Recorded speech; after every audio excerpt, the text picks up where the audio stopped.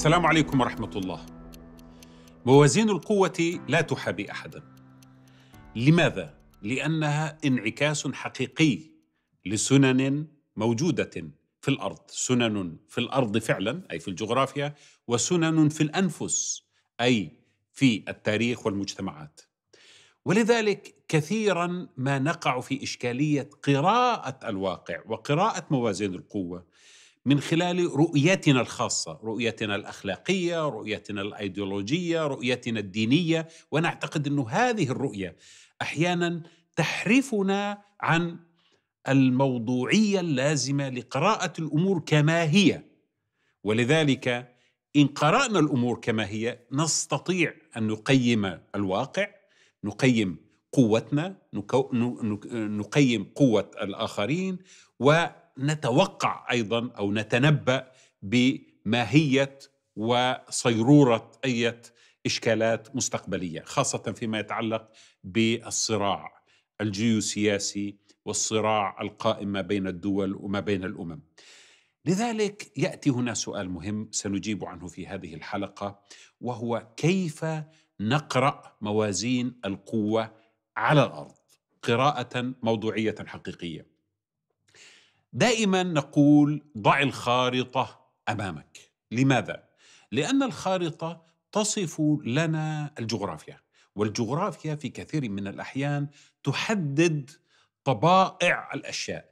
تحدد اولا الإمكانات تحدد كذلك نشوء وتطور المجتمعات لأن كثيرا من المجتمعات في الحقيقة تتأثر بالجغرافيا وكنا قد شرحنا هذا تفصيلا ولكن أيضا نقول بأن المسألة في الجغرافيا ليست فقط حول الموانع الطبيعية للجيوش وحركتها وإمكانات الدول الاقتصادية من معابر وأنهار وبحار ولكنها أيضا تؤثر على نفوس الناس على طريقتهم في فهم العالم على قدرتهم الجمعية على آه، إدارة شؤونهم ولذلك الجغرافيا في غاية الأهمية والخارطة تعبر لنا تعبيرا مهما عن الجغرافيا.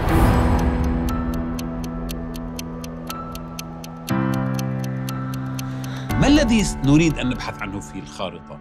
نبحث في الخارطة عن شيئين رئيسين. الأول نبحث عن خطوط الصدام وهذه نقاط اشتعال تحدث في كثير من الأحيان وتؤدي إلى الحروب وإلى النزاعات. وتتع... ويتم التعامل معها كمحركات للمنظومة، المنظومة الجيوسياسية التي تصنع موازين القوة، لأنه موازين القوة هذه لا تأتي هكذا، إنما هي صيرورة، موازين القوة تهبط وتصعد، موازين القوة تتغير. لذلك قراءتنا يجب أن تكون قراءة متغيرة. لا تستطيع أن تقرأ موازين القوة وتقول أنا قرأتها وانتهى. 20 30 سنة هيك الدنيا ماشية. لا موازين القوة تتغير. لذلك نقاط الاشتعال هذه ضرورة. ينبغي أن نحافظ على قراءتها دائما وهي انعكاس لموازين القوة الدولية ومولد كذلك لموازين قوة جديدة. مثلا على سبيل المثال نقاط الصراع الموجودة بين كوريا الشمالية وكوريا الجنوبية. هذا الخط خط الصدام هو خط أيضا مرتبط بالنظام الدولي وموازين القوى الدولية وما بعد والحرب الباردة وما بعد الحرب الباردة. آه، نقاط الصدام الموجودة ما بين الهند وباكستان في كشمير.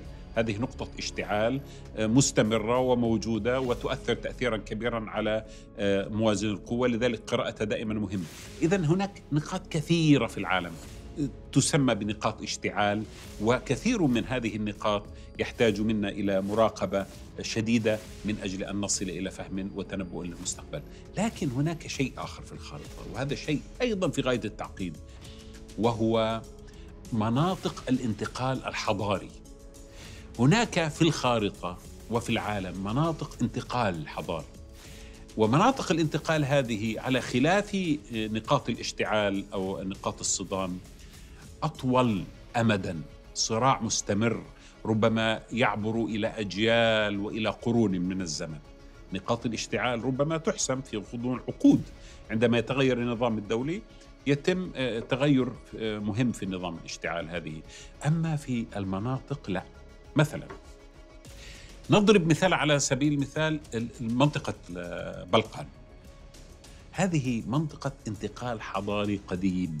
ما بين ثلاث حضارات رئيسية. الحضارة الأولى هي الحضارة السلافية الأرثوذكسية.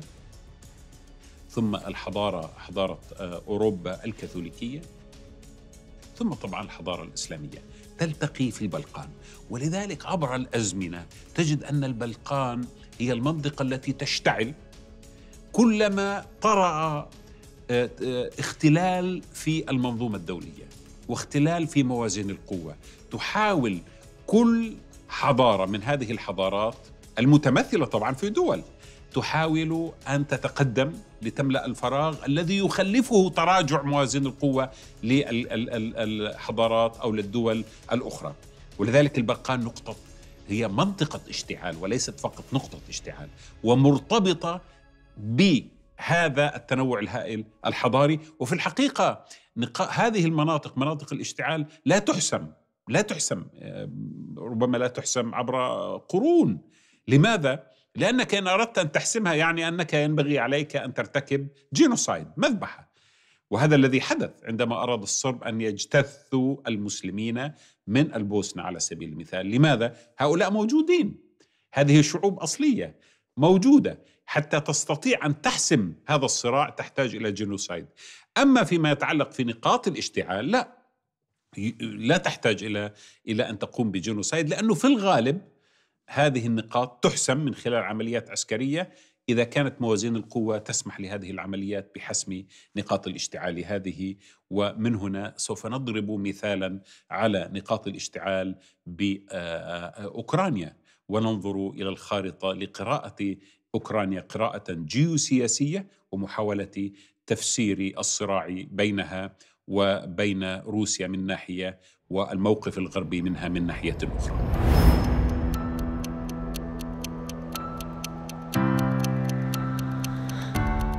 الترجمة الحرفية لكلمة أوكرانيا تعني على الحافة أو على الحدود لماذا؟ لأن أوكرانيا تقع فعلا من حيث من نظرة حضارية ما بين النطاق الروسي وما بين النطاق الأوروبي آه، وكذلك من ناحية جغرافية تقع ضمن السهل الأوروبي الكبير ما هو السهل الأوروبي الكبير؟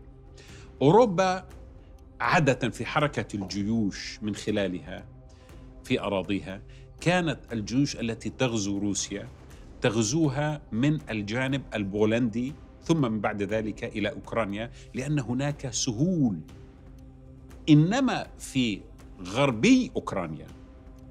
هناك سلسلة من الجبال اللي هي جبال Carpathian Mountains الجبال الكارباثية وهذه الجبال تعتبر كمصدات للجيوش. فعملية الاقتحام ينبغي أن تأتي من فتحة تعتبر سهول حركة الجيوش فيها سهلة. غزيت روسيا ثلاث مرات. مرة من قبل جيوش آه، سويدية مرة غزيت أيضا من قبل نابليون بونابرت وكذلك من قبل هتلر دائما من هذه المنطقة. هذه المنطقة تعتبر نقطة آه، ضعف كبيرة جيوسياسية بالنسبة لروسيا. وهذا بالنسبة لروسيا يهدد أمنها القومي يهدد وجودها لأنها تعتقد أنه إن لم تغلق هذه المنطقة وتكن هذه المنطقة تحت سيطرتها فهي مفتوحة دائما لعملية الاقتحام من قبل أوروبا. هذا تاريخيا.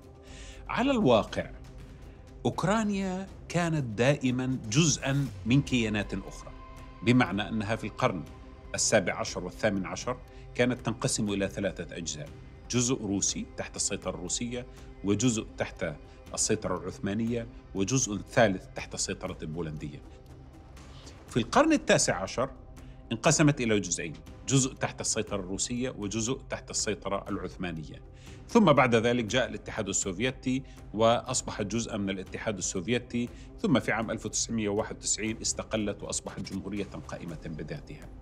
إذا سمعنا خطاب بوتين الذي تحدث فيه عن أوكرانيا وحاول أن يقدم سردية تاريخية للكيان المسمى بأوكرانيا أراد أن يقول أن أوكرانيا هي جزء وامتداد طبيعي وديموغرافي وحتى روحي لروسيا لأن هذه الدولة هذا الكيان السياسي كيان حديث كيان تشكل في عام 1991 إنما قبل ذلك كان جزءا عضويا متصلا بالمجال الحيوي الروسي وهو في الحقيقة كذلك. يعني عندما تقرأ على سبيل المثال روايات تولستوي وديستوفسكي وهذه روايات كتبت في القرن التاسع عشر تتكلم هذه الروايات عن أشخاص يتنقلون ما بين سانت بطرسبرغ وخاركيف أو ما بين موسكو وكييف تنقلا طبيعيا كأنك تتكلم عن دولة وكيان واحد. الشيء المهم جدا هنا أنه منذ عام 1991 حاول الغرب أن يستفيد من أوكرانيا بأن يشاغل روسيا أو أن يخلق منطقة عازلة مع روسيا. فبالنسبة له أوكرانيا وكذلك جورجيا أصبحتا المكان الذي يشاغلون فيه الروس آه، روسيا محاولين أن يمنعوا روسيا من العودة إلى القوة الإمبراطورية السابقة المتمثلة فيما قبل الاتحاد السوفيتي أو القوة السوفيتية التي كانت أوكرانيا وجورجيا وكذلك كثير من دول أوروبا الشرقية جزءا منها. ومن هنا برأيي أن الغرب دائما كان ينظر إلى الخارطة ويقول أوكرانيا هذه ينبغي أن تبقى معلقة بوهم الانضمام إلى الاتحاد الأوروبي وإلى الناتو. من دون فعلا أن يتم ذلك الانضمام حتى تبقى روسيا في حالة تحفز بينما نضم بقية الجمهوريات السوفيتية السابقة وتصبح جزءا من الناتو. ولذلك لم تسارع الدول الغربية إلى ضم أوكرانيا لأنها تعرف حساسية هذا الموقف بالنسبة لها وإن كانت تستخدم دائما كشماعة لكي تخيف فيه روسيا وتحاول أيضا أن تجتذب فيه النخبة الأوكرانية باتجاهها. هناك مشكلة أحيانا لدى النخب. بعض النخب لا تفهم العناصر الجيوسياسية الحقيقية للدولة التي يعيشون بها ويتعلقون بشعارات. هذا إحنا عشناه في العالم العربي. كان لدينا نخب تعلمت في الغرب ثم عادت بمجموعة من المفاهيم حاولت أن تزرعها خلافا للوعي الجمعي وفشلت في ذلك وأفشلت كذلك نمو دولنا وجعلت منها كيانات آه، حقيقة لا هوية لها وفي كثير من الأحيان فاشلة. فيما يتعلق بجورجيا وأوكرانيا النخب التي حكمت بعد الاتحاد السوفيتي كان تأثير الغرب عليها كبيرا. الرؤية الليبرالية للأمور معظمهم جاءوا بالمناسبة تعلموا في دول غربية وجاءوا إلى هذه الدول لم يفهموا أن الجيوبوليتكس في هذه الدول يحتم عليها أن تبقى على الأقل على الحياد إن لم يكن قريبة من المجال الروسي. وأرادوا أن يصنعوا حالة من التغريب ومن القرب آه، آه، للولايات المتحدة الأمريكية ولحلفائه الغربيين ثقافيا واجتماعيا واقتصاديا والأخطر من ذلك سياسيا وجيوسياسيا. هنا استفزت روسيا. روسيا كانت ضعيفة. أنتم تذكروا روسيا أيام يلتسن الذي في خلال سنوات حكمه أصبحت روسيا في الحقيقة دولة هزيلة ضعيفة بيعت قطعة قطعة وبيعت منشآتها وأسلحتها وكثير من ممتلكاتها مما أشعر الناس بالإهانة. لما جاء بوتين حاول أن يستعيد عافية الدولة ولكن أيضا بالسنوات الأولى كان يعرف أن الدولة ضعيفة. في تلك الأثناء كانت جورجيا تحاول الاقتراب من الغرب. طبعا كان في ذلك الوقت كان في عندنا ساكاشفيلي الرئيس آه، ميخائيل شاكاشفيلي الذي كان قد تخرج من جامعة جورج واشنطن عاد إلى إلى جورجيا وبدأ يتقرب إلى الغرب ووقع اتفاقية تعاون استراتيجي مشترك مع الولايات المتحدة الأمريكية ثم بدأ يحاول تأسيس نطاق جديد لجمهوريات. كانت جزءا من الفضاء الروسي واليوم تقف كمحاولة لصد روسيا عن الاتجاه نحو الغرب من بينها جورجيا وكذلك أوكرانيا وملدوفا وأذربيجان. هذه الاتفاقية الرباعية التي تمت بمباركة أمريكية وبدعم من أمريكي في عام 2005 أثارت حفيظة روسيا التي بدأت تنظر إلى هذا الواقع مصحوبا بضم الناتو لعدد كبير من الدول على حدود آه، أوكرانيا. أصبحت تنظر إلى ذلك كتهديد وجودي. هنا انتبه. إذا نظرت أي دولة إلى شيء ما كتهديد وجودي فإنها تضعها في قمة أولوياتها. هذا يعتبر بالنسبة للدول مسألة حياة أو موت. وعندما تعتبر الدولة قضية ما مسألة حياة أو موت لن تنظر إلى أي أولويات أخرى كالاقتصاد كالخسائر البشرية كالخسائر المتعلقة بالسمعة المتعلقة بالإعلام كل ذلك يأتي في مرحلة لاحقة للتهديد الوجودي الذي تحاول الدول فيه أن تصد امرا تظن أنه سوف يضعفها ينهكها ينهي وجودها أو يقتلع شوكتها. ولذلك روسيا من عام 2005 و2004 بدأت تفكر بأنه لابد لها من استعادة عافيتها في مجالها الحيوي. لم يفهم ساكاشفيلي سياسة آه، استراتيجية حقيقية. لأنه كان بالمناسبة كان متكلم لبق للغة الإنجليزية وكان يبهر المستمعين الغربيين بظهوره الكثير على السي إن إن وأحاديثه الرائعة عن الديمقراطية والحرية والتخلص من تراث السوفيتي آه، والدكتاتورية التي لاحقت ذلك. لكن هو لم يفهم أنه يلعب في الملعب الخطأ وأنه يستخدم الأدوات التي سوف تؤدي إلى زواله في الحقيقة. روسيا في عام 2008 اقتحمت في 8 8 2008 شمال جورجيا وسيطرت على أبخازيا وعلى جنوب أوسيتيا. هاتان قطعة كانتا ذات أغلبية روسية وطبعا كانت هذه الذريعة المناسبة لدخول روسيا. وقفت الدبابات على مقربة كيلومترات بسيطة من تبليسي عاصمة جورجيا. ولم ينقذ ساكاشفيلي في ذلك اليوم إلا ساركوزي الذي ذهب إلى الكرملين وطلب من آه، من بوتين أن أن يعفو عن ساكاشفيلي مقابل التزام ساكاشفيلي بقواعد اللعبة بشكل جديد. طبعا بعد ذلك هزم في الانتخابات وخرج في عام 2013 وذهب لاجئا إلى أوكرانيا وبدأ يعمل في أوكرانيا أيضا نفس اللعبة. وأدى ذلك في عام 2018 أن طرد من أوكرانيا عندما قاد مظاهرات في أوكرانيا ضد الحكومة الأوكرانية مطالبا برؤية ليبرالية غربية للأمور. أي أنه لم يتعلم الدرس. إذا محاولات الغرب على وضع حدود ومناطق عازلة أمام روسيا مستمرة. وفي الحقيقة هناك مبادرة جديرة بالاهتمام تسمى بمبادرة البحار الثلاثة البحر الإدرياتيكي بحر البلطيق والبحر الأسود. الدول الواقعة بين هذه في هذا المثلث تضم 12 آه، آه، دولة. هذه الدول كانت جزءا من الفضاء السوفيتي السابق. الولايات المتحدة الأمريكية دعمت مبادرة تسمى بمبادرة البحار الثلاثة من أجل تأسيس بنى تحتية اقتصادية خاصة فيما يتعلق بالطاقة والإتصالات تربط هذه الكتلة بأوروبا الغربية. لأن المفكرين الاستراتيجيين وجدوا أنه بعد انهيار الاتحاد السوفيتي لا تزال دول أوروبا الشرقية متصلة بروسيا ومعتمدة عليها في كثير من المناحي مثل الطاقة وخلافه. ولذلك أرادوا أن يؤسسوا هذه المبادرة ورأوا أن هذه المبادرة ستخلق واقعا جيوسياسيا جديدا يعزل روسيا ويضع أمامها ما يشبه الستارة الحديدية العازلة للنفوذ الروسي نحو أوروبا الغربية. هنا نعود مرة ثانية إلى أوكرانيا. أوكرانيا في الحقيقة هي امتداد ثقافي وحضاري لروسيا وهي جزء لا يتجزأ من الوعي التراكمي للأمة الروسية وللشعب السلافي. أولا من ناحية إثنية ليست هناك فوارق.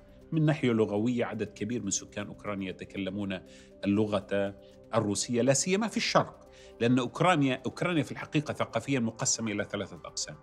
الشرق في غالبه يتكلم اللغة الروسية الغرب في غالبه يتكلم اللغة الأوكرانية والوسط مقسم بين هذا وذاك. إذا نظرنا إلى الخريطة نجد أن التقسيم الموجود هو في الحقيقة ليس عرقي بمعنى أنه هم شعوب سلافية لكن يتفقون الروس وال وال وال وال والأوكرانيين لكن لغويا وثقافيا هذا الذي يحدث في أوكرانيا. وبالتالي روسيا ليست غريبة عن أوكرانيا كما أن أوكرانيا ليس لديها الشعور الذاتي بهوية منفصلة تشكلت عبر آلاف السنين أو مئات السنين عبر كيان سياسي أو دولة. هناك فرق بين الهوية الثقافية وهناك فرق بين أن تتحول الهوية الثقافية إلى كيان سياسي متماسك وقوي. الدولة الأوكرانية دولة حديثة وبالتالي روسيا دائما تنظر لها كعمق استراتيجي وكامتداد طبيعي لها. من هنا حاولت الدول الغربية أن تبقي أوكرانيا معلقة بوهم الانضمام إلى إلى إلى الاتحاد. الأوروبي أو إلى الناتو. وللأسف لم تستطع القيادة الأوكرانية التي جاءت بعد عام 2014 اللي هي اللحظة الفاصلة التي حدثت فيها الثورة الشعبية في الميدان في كييف ضد النظام الذي كان يوالي موسكو وحاولت أن تأتي بثقافة غربية وانتماء غربي وارتماء في أحضان أوروبا. هذه اللحظة عام 2014 أشعلت مرة ثانية. كل الخطوط الحمر في الذهن الاستراتيجي الروسي. وبدأت تشعر روسيا أن أوكرانيا تخرج عن سيطرتها. ومن هنا بدأت تفكر في كيفية إخضاع أوكرانيا لمجالها الحيوي ولنطاقها الاستراتيجي. فبدأت في منطقة شرقي. الشرق مرة ثانية الاقليات تلعب دور كبير جدا. الأقلية الروسية الناطقة بالروسية في شرقي أوكرانيا وهم أوكران طبعا هم يحملون الجنسية الأوكرانية. هؤلاء كانوا هم المدخل الحقيقي لبوتين إلى شرقي أوكرانيا. ثم بعد ذلك جاءت اتفاقيات مينسك التي أسست لفكرة خصوصية هذه المنطقة وحكم ذاتي خاص بها منعا لأوكرانيا المركزية مركز آه، في كييف من أن تهاجمها ثم تحولت بعد ذلك كما رأينا إلى حجة للغزو ولدخول آه، روسيا إلى داخل أوكرانيا. اذا الخارطة تنبئنا بالكثير. لو أن أوكرانيا على سبيل المثال كانت محاطة بالجبال من كل ناحية لتغير وضعها الجيوسياسي ولا أصبحت بشكل تام ملحقة بروسيا منذ القدم وانتهى هذا الموضوع. لكن حالة الانفتاح هذه الجغرافية على بولندا ثم من بولندا على أوروبا يمكن هو الذي جعل من أوكرانيا حالة انتقال. لأن أوكرانيا في بعض الأحيان غربها يطمح أن يكون غربيا أي مع الغرب وشرقها آه، جزء لا يتجزأ من آه، آه، روسيا. وبالتالي تبقى هي منطقة صراع ومنطقة توتر. وإذا استطاعت روسيا أن تحكم السيطرة على أوكرانيا فإنها قد أعادت بناء تخيلها لكيانها الاستراتيجي المتماسك الذي يضم بالإضافة إلى روسيا يضم أوكرانيا وبيلاروسيا. وهكذا تقف على الحدود الحقيقية مع الغرب اللي هي بولندا. والتي كانت في كثير من الأحيان نقاط صدام طبعا عبر الحروب السابقة. ولكن هنا تستطيع روسيا أن تنظر إلى نفسها مرة ثانية وتقول أنا دولة واحدة متماسكة قادرة على حماية نفسي من أي غزو خارجي ثم تطالب بأن ترتقي بموازين قوتها وأن ترتقي بدورها بما يوائم موازين قوتها باتجاه الجلوس وجها إلى وجه وراسا مقابل رأس مع الولايات المتحدة الأمريكية ومع الصين ومع الأقطاب الدولية.